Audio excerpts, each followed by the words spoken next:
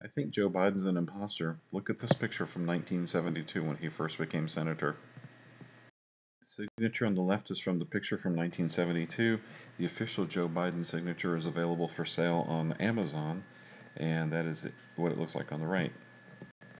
When I superimpose the official signature on top of his autograph from 1972, they look very similar. This is another example of an autograph you can buy of Joe Biden from Amazon.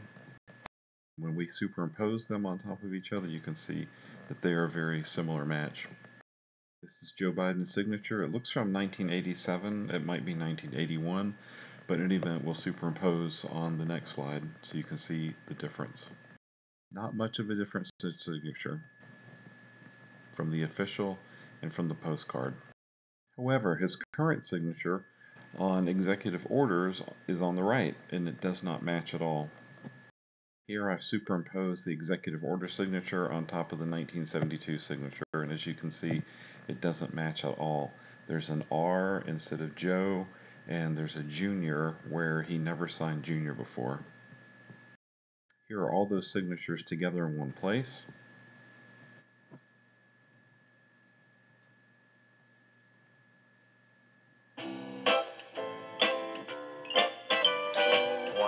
Things is not like the others. One of these things doesn't belong.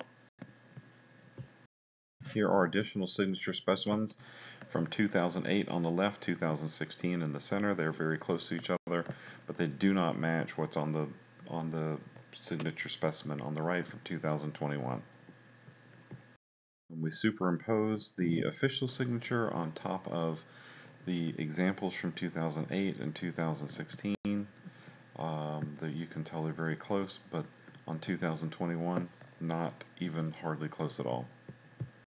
And here you can see the imposter has signed a scribbly, terrible script that doesn't match any of the previous signatures.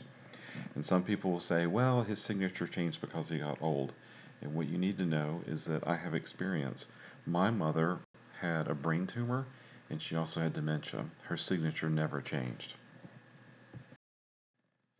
The official signature is superimposed on top of this executive order, and of course it does not match.